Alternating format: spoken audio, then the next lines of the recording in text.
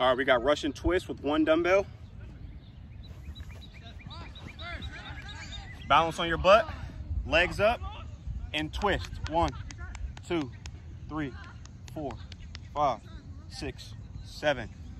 Think core as you're doing this. Squeeze it. All right, side view.